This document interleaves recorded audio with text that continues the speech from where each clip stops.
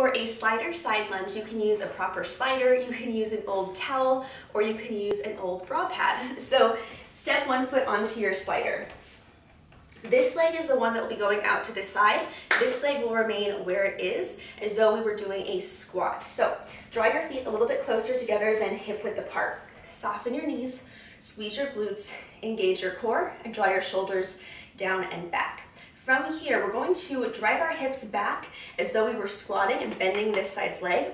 We'll shoot this leg out to the side, keeping pressure on the floor as we extend it straight out, and then keep that pressure on the floor as you pull it back in. Inhale as you lower down. And now exhale, powerfully press up and come back to standing.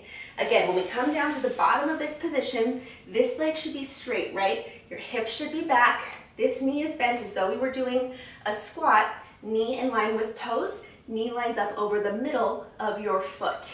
From here, drive this foot into the ground, squeeze your butt, and pull it in. The more that you press this foot down and really squeeze it in, the more you're gonna be getting the inner part of your thigh. Inhale down, exhale up. Keep these toes pointing forward as well, not out to the side.